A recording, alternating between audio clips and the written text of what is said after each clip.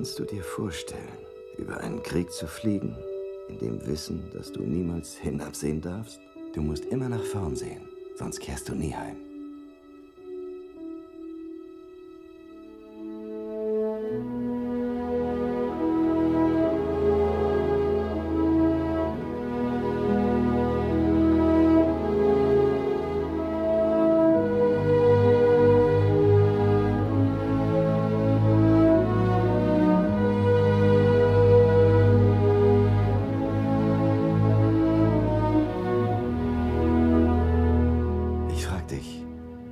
Was ist mutiger als das?